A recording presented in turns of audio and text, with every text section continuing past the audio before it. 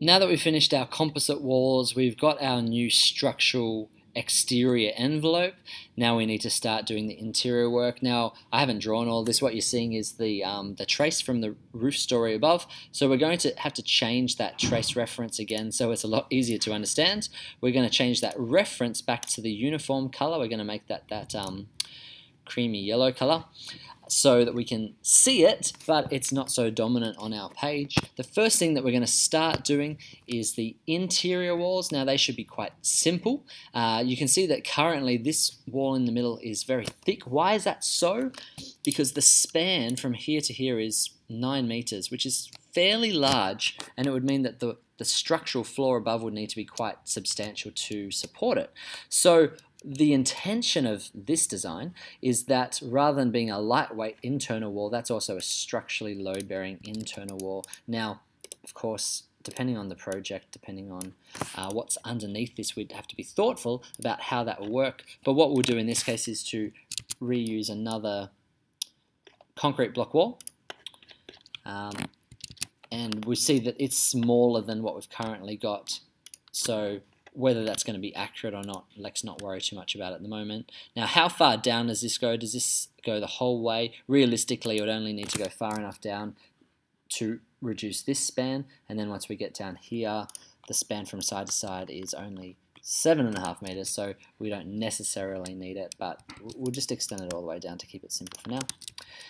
So we're sort of, again, you can never get away from the fact that we're making design decisions construction decisions, and they're informing our ArchiCAD process. So you can't ever just CAD without thinking, unfortunately.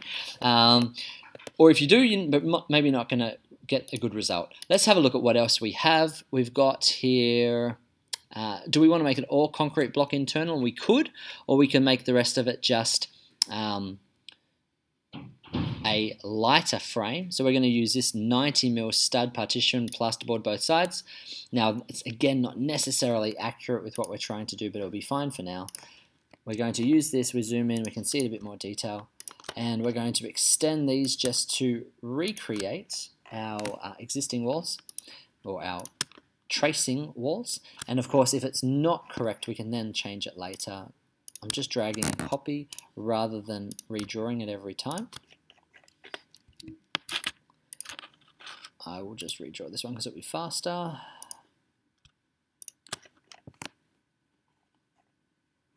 Let's finish this off.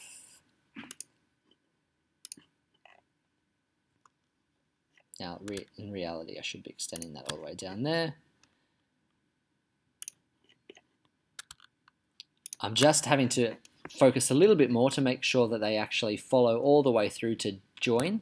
Uh, what does that mean? I'll turn off the trace for a second so you can see what I mean. It's very important that the walls match up with their reference lines so that the walls are intersecting. Uh, and they should be intersecting correctly, and currently they're intersecting pretty well, meaning that the concrete block is more important than the timber frame or the plasterboard. So the, the timber frame and the and the plasterboard stops, and the uh, concrete block runs through consistently. Now, your walls won't always do that depending on the settings that you're using, so you have to make sure that you've got the settings correct in order to achieve this. Let's just finish this off. So like that's a fantastic example. After we'd finished that, we see that this isn't intersecting correctly.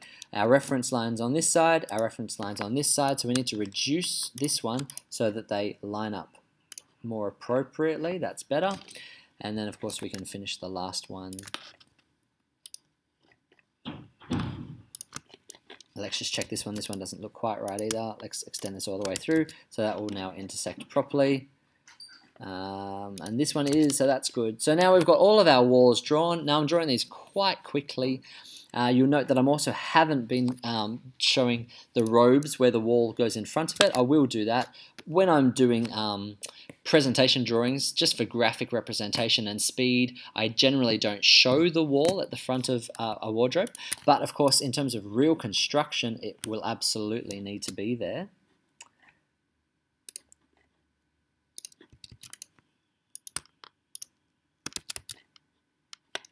So I'll add those in now, just so I'm not being confusing.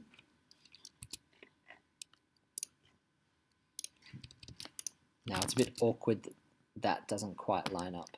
Of course, I could if I wanted to adjust that slightly. And of course, if I was doing that, I wouldn't do it as two separate walls, but I'd make it one wall. Uh, when you're hovering over an element, if you press tab, tab, tab, tab, that